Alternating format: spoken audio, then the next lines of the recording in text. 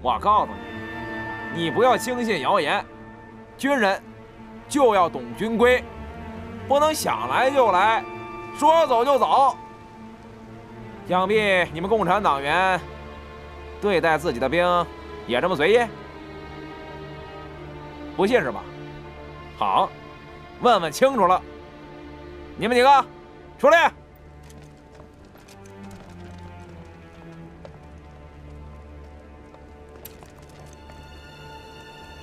弟兄们，我问你们：你们是自愿当兵，还是我们强迫抓来的？自愿的。我我们是自愿的。是自愿的。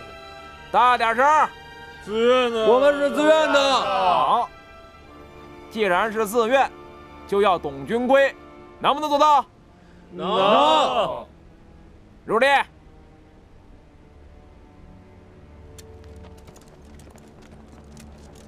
哎，咋成自愿的了？是咋成自愿的？不会啊！这这这是啥事儿啊？各位起义的将士，我想给大家几句忠告：你们能够幡然醒悟、弃暗投明，站到人民的这一边来，我们非常欢迎。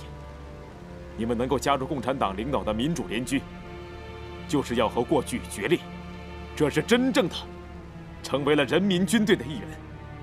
因此，我们就要和强拉壮丁的这种错误的行为做坚决的斗争，协助我们挖出幕后的黑手。这？这这这怎么办？这可怎么办？我们怎么？这这咋整啊？怎么办？这我这任部长，我们是对国家、对百姓有功的抗日英雄。你们共产党诬赖我们滇军强征百姓当兵，大家说答不答应？不答应！不答应！不答应！不答应！不答应！不答应！不答应！都给我老实点！不答应！这里是解放区，不是蒋委区，懂吗？不懂！不懂！学着点！学不了！干什么？干什么？干什么？干什么？别别别，米大！同兵，大哥，八路要整咱们，咱们跟他们干吧！听好了，再有起哄闹事的，军法处置，把枪放下。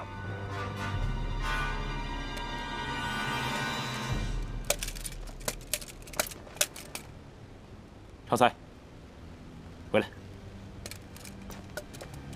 任部长，你给我三天时间，我一定调查清楚，给你个答复。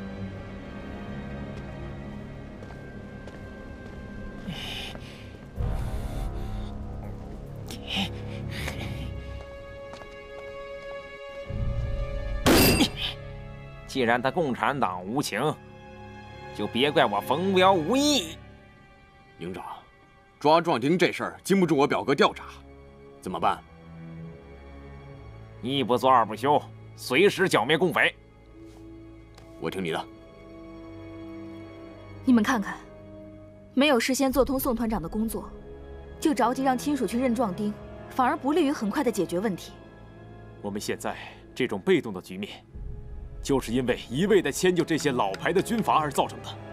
我认为，一定要采取果断的措施，让宋云杰放人，绝不再等三天。同时，我们还要再对宋英杰进行政治教育，抓几个反面典型，予以镇压。对，这样也让那些闹事的滇军官兵看看，咱们对待那些死硬的反动分子是绝不手软的。对起义部队的震慑是必要的，但是操之过急并不明智。我们大家可以看看，在我们的县城里，县大队和滇军之间的实力对比，根本不允许我们硬碰硬的解决问题。我同意老邱的提议，由他和于庚阳同志去说服宋云杰，派主力部队在莲花县城外警戒，这样。政治攻心跟武力斗争两手抓，才能有效的遏制二七八团内部反动势力的趁机作乱。我们现在不能害怕他们，畏首畏尾的右倾机会主义要不得。那蛮干盲动的左倾机会主义就要的吗？那要不然这样，我们三个表决。还有这个必要吗？你什么意思啊？呃呃，苗县长，别争了，给我一天时间，我去说服总团长。好，我去向总部汇报。哥，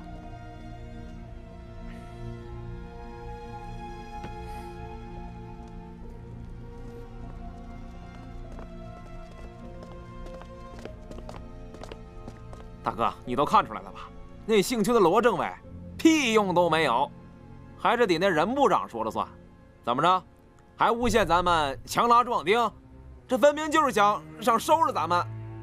表哥，他们这是要骑在咱们头上拉屎啊！你不能再忍了。是啊，大哥，这跟共产党硬来，吃亏的是咱们。投共是咱们自己要来的，还要讲究点策略。还讲究什么策略呀？咱们滇军连老蒋都不怕，还怕这帮土八路？干吧！闭嘴！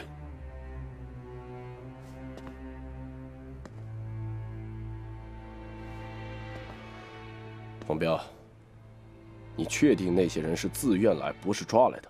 我敢拿脑袋担保。要不这样，把花名册拿来，让大哥一个一个自己问。是，回来。现在不比在石磨坊。你说的没错，这条路是我们自己选的，但是我觉得任达轩说的话不代表他们上级领导对我们的态度，所以我想搞清楚。大哥的意思是，我想去趟江东军区司令部，见见他们司令员，表明一下我们的态度，争取一下我们该有的权利。如果他们真的是明拉暗踩，我们到时候再做也不迟，但至少现在不行，懂吗？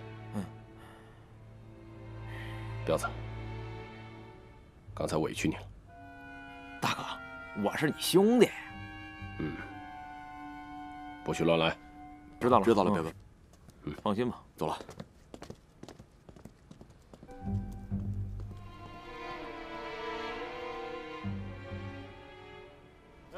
再给我一个，下一个，再给我来一个，多来点呗。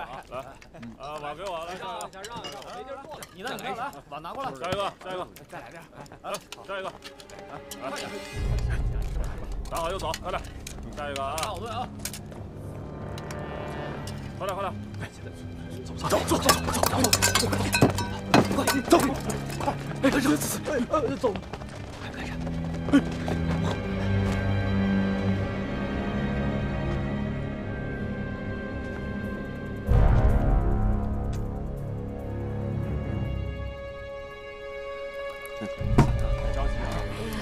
来，大娘，喝口水吧。啊，谢谢谢谢。坐着先休息休息休息。来，娘。娘娘娘回来了！娘你在哪儿娘娘！儿子。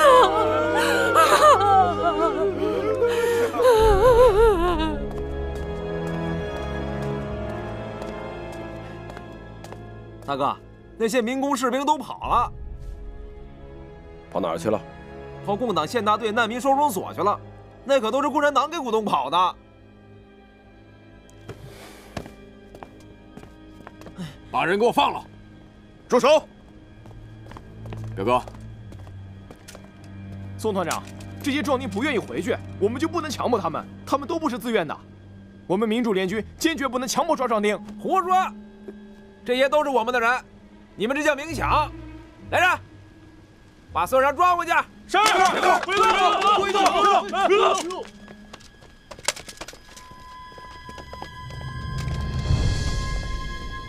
任部长，我来抓逃兵，这是我二七八团自己的事，这也需要你批准吗？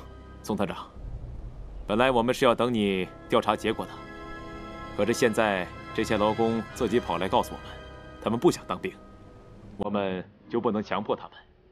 当然了。这也包括二七八团起义的所有官兵们，他们有权利决定自己的去或留。想走的，我们发路费；他们不想走，我们也热烈欢迎。宋团长，你现在也是民主联军的人了，希望你也能够遵守民主联军的政策。好，军人服从命令是天职。既然任部长那么说，我尊重你的意思。但是我想向郑司令当面陈情。这样也好，你有权利这么做。郑司令也很乐意和宋团长当面谈一谈。我派人送你去。撤！是。撤！呸！错了就是错了，到郑司令员那儿告状也没用。任部长，你觉得这正常吗？什么意思？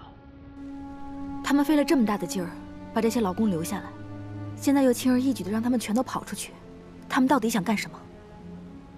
邱永年不是要和宋云杰谈一谈吗？谈完就知道了。任大轩，我希望你不要把个人的杂念带到工作中来，这是对你自己、对我，还有对老邱的极度不尊重。我也是这么想的。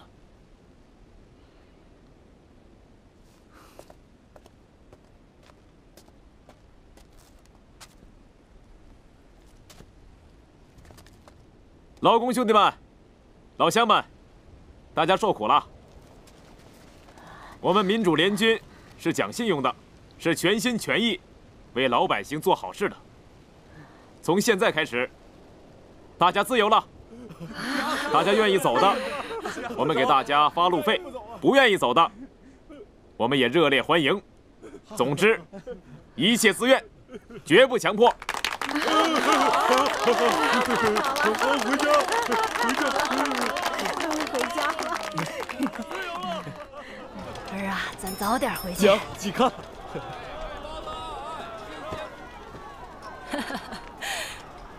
啊，儿啊，娘身上还带着点钱，你进去给你媳妇扯块布料，做件新衣裳，让她也乐呵乐呵。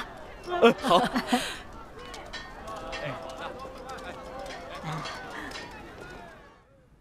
大哥，共产党已经解散了龙万虎的部队，开始拿我们开刀了。没等你做回答，他们先下手为强。咱们二七八团可不容这个。表哥，看来共产党这次是要玩真的了。那我们总不能听之任之吧？哼，既然他们不仁，就别怪咱们不义。他们民兵大队总共二三百号人，可咱们呢，一千多号兄弟呢，武器弹药也比他们好。行了，一切都等我从江东军区司令部回来再说。我最多走两三天，这两三天里，你们不准跟共产党直接发生冲突。一切等我回来再说，懂吗？老杜，哎，我不在这几天，你做主，遇见事跟哥儿几个多商量商量，懂吗？放心吧，大哥，我坚决执行你的命令。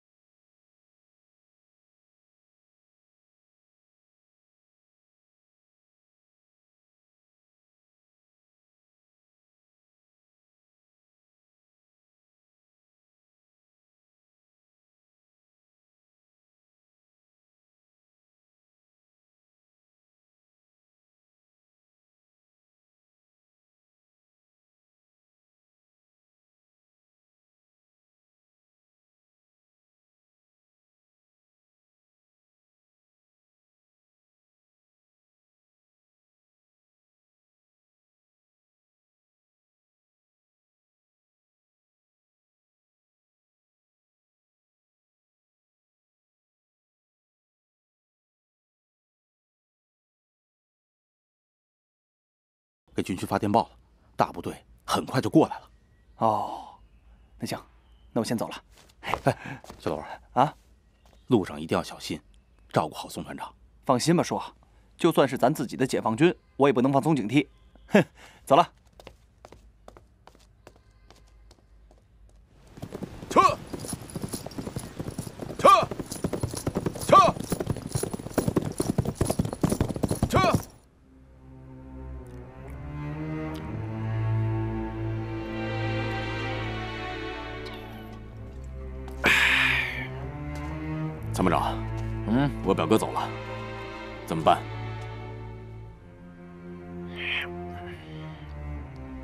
见机行事。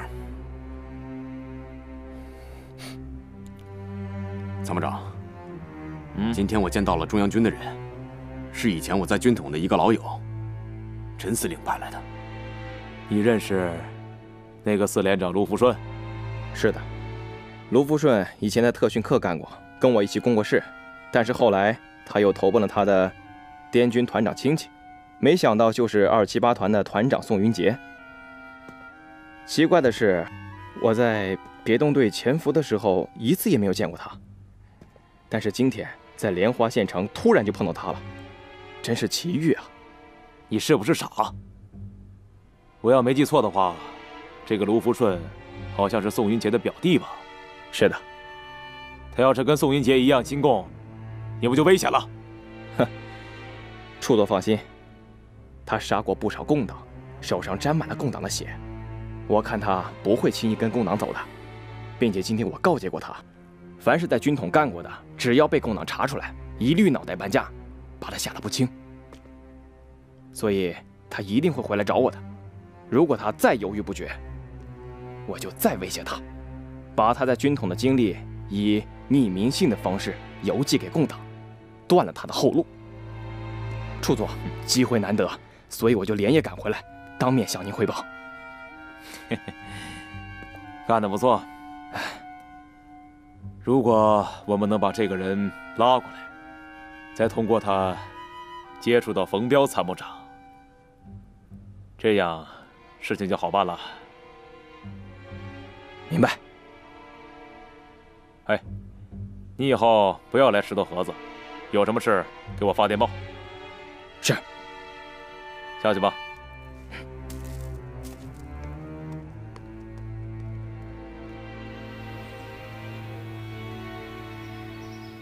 一开始啊，黄文才连蒙带吓，这个卢福顺虽然没有直接承认，也等于说间接默认了二七八团投共属实。司令，你来了，高副司令，坐吧。哎呀，司令，刚才姚宏志告诉我一个新情报，说这个情报是怎么得知的，我们就不用过问了，只是供我们参考。别替他解释，赶紧说吧。姚宏志说，滇军二七八团光复莲花县城是假的，实际上还是共产党说了算。二七八团抓了一些壮丁，结果你猜怎么着？让共产党给放了。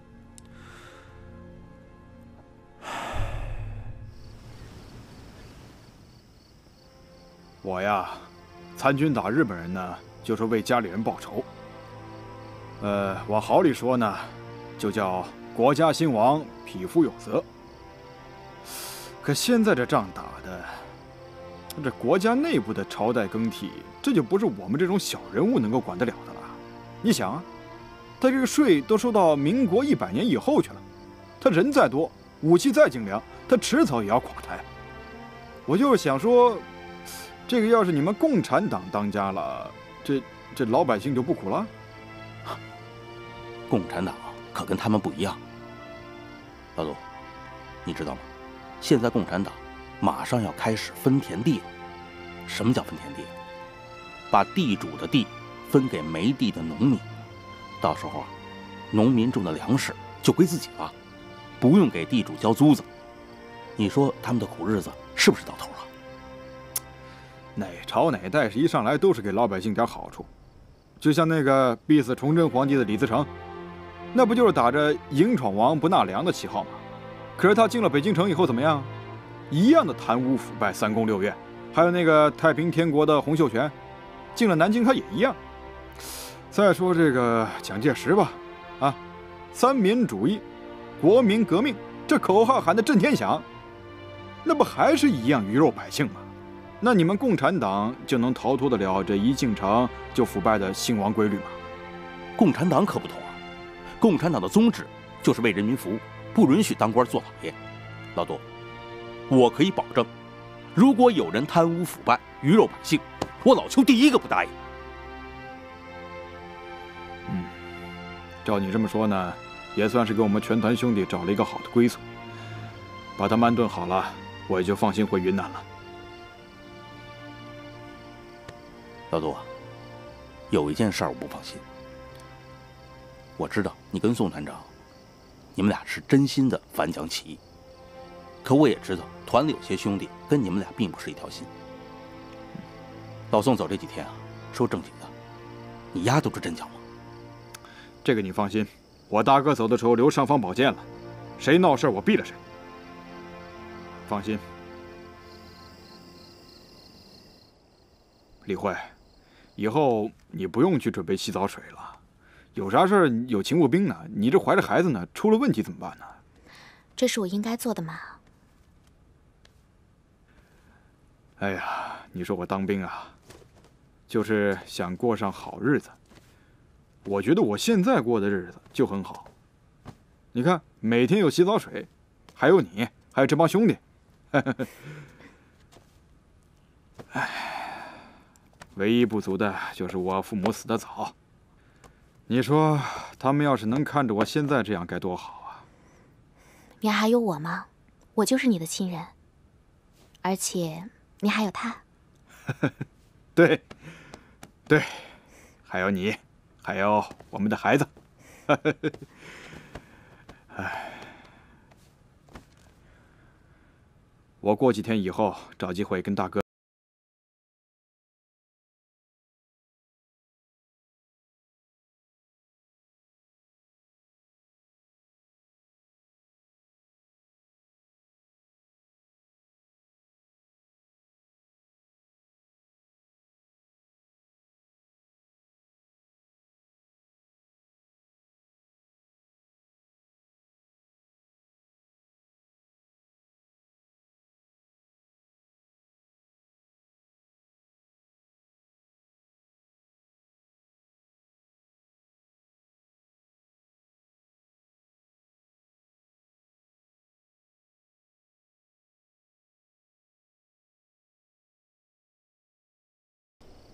你在这干什么呀？我找，我找冯参谋长。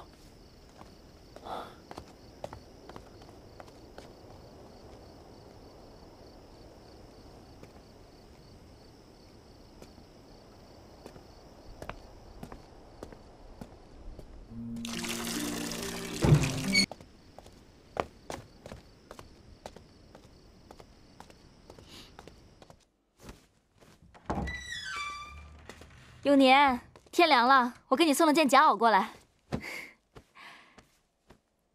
永年，苗县长啊，是你呀？邱永年呢？你怎么在他房间？这我还没问你呢，你就这么多话来了？你找我邱大哥干嘛呀？哦，我给他送了件夹袄过来。那以后这种事儿呢，就不用您操心了，这是我们两口子的事儿。不过还是谢谢你啊，苗县长。不用客气，而且你也不用误会，我只是来送夹袄的。我先走了。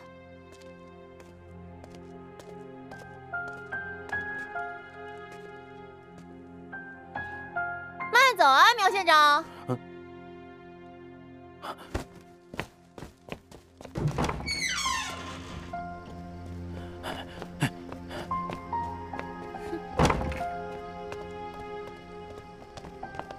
玉英，你找我？啊，是郭大娘觉得天凉了，让我给你送件夹袄过来。哦，玉英，哦不，苗县长，以后这种事儿让郭大娘自己来吧，免得任主任误会。我们现在是同志关系了，你也不用多想。再说达轩那个人我了解，他有时候可能是一时糊涂，但是本质上是个好人，心地很善良。我知道，要不然你也不会嫁给他。永年，龙梅那姑娘那么执着的想嫁给你，你就答应了吧。我觉得她挺好的。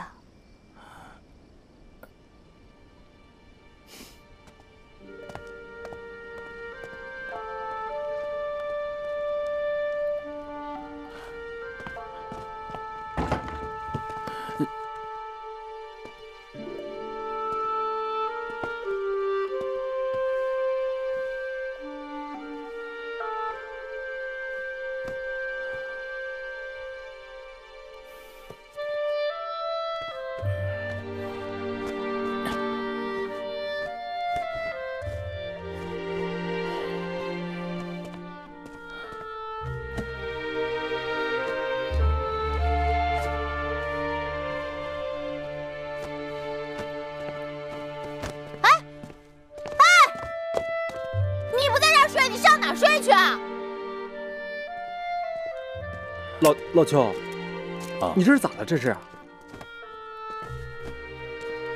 哎，今天晚上就住这儿了，在这儿对付一晚上。这没褥子咋行啊？这，我给你拿双褥子去啊。二蛋，哎，谢谢啊。跟我客气啥？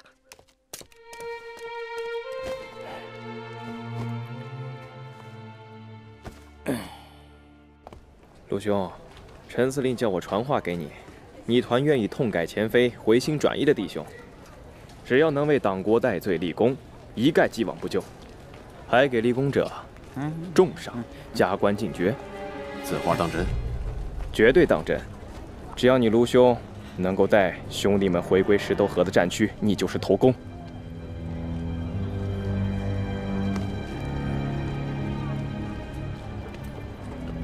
好，我们的冯参谋长，还有一营二连连长，还有几个连排的弟兄，我都可以联络。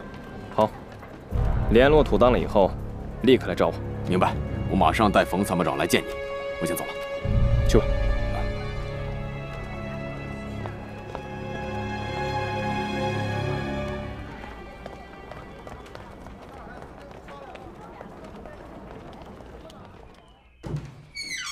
隔壁就是任部长和苗县长住的屋。没想到啊，你和苗县长还是旧相识。老邱，啊啊，哎哎，我住这儿啊，千万别让龙连副知道啊。明白，放心吧。那我出去了啊。好，你好好休息啊。哎哎。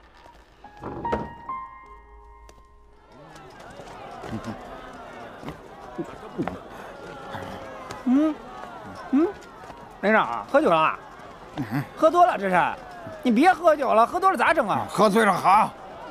这帮龟儿子，团长一不在就捣乱。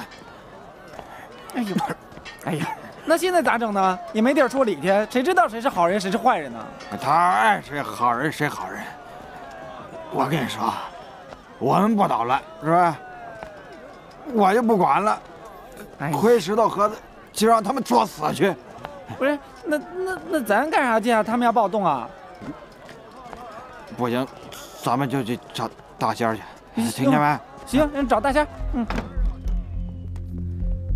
参谋长，我给你介绍一下啊，参谋长，这是陈司令的少校特务队长黄文灿特派员，这位是我们的冯参谋长。哦，久仰久仰。来，黄兄，你就放心的跟我们参谋长谈，我到楼下给你们把风。好，去吧。哎呀，黄队长一来，冯某心里就踏实多了。陈司令有什么指示，冯某誓死效忠党国，效忠陈司令。好，冯参谋长不愧为滇军栋梁，党国忠臣。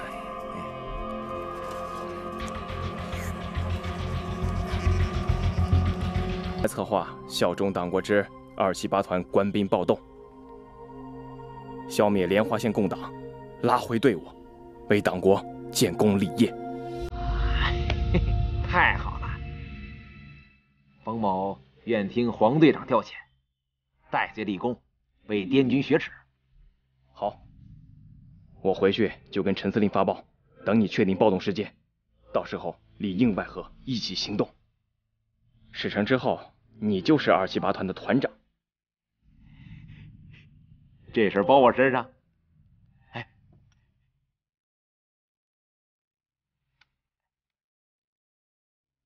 黄队长，干！哎，冯参谋长，咱们还是事成之后回石头盒子再好好喝吧。此地不宜久留，以免惊动了共军。哎，闲话少叙，冯参谋长，你到底能拉多少兄弟参加暴动？现在宋团长不在家，如果杜团副不听劝的话，那可就别怪兄弟我无情。到时候我可就是二七八团说了算的人。如果他们不听话，嘿嘿嘿嘿嘿，好，看来我是来得早，不如来得巧啊。